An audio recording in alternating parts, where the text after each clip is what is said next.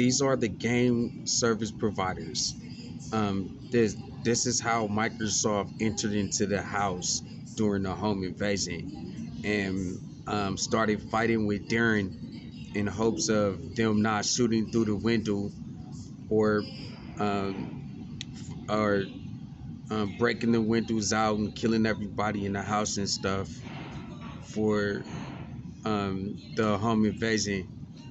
I think that um, I think it was a, a physical altercation between Andres Rodriguez and Darren because of the access of the person who they hired to do the home invasion, which was Daryl Jenkins.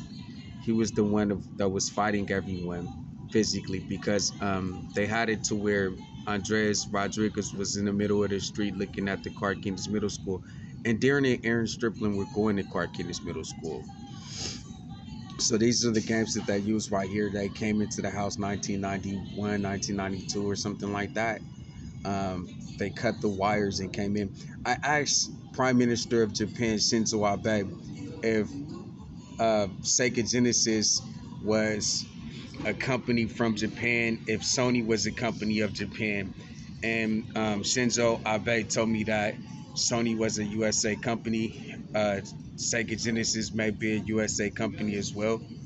And so um, that's it right there.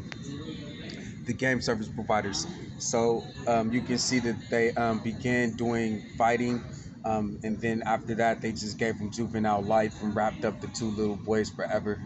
Um, it was a, um, um, wasn't even a physical altercation like that. It, it, it almost seemed like it was it was just it wasn't even even something that little kids would say fight fight fight fight fight over, um, and and so it, it's it's just not worth getting juvenile life. So um, that's it right there. Is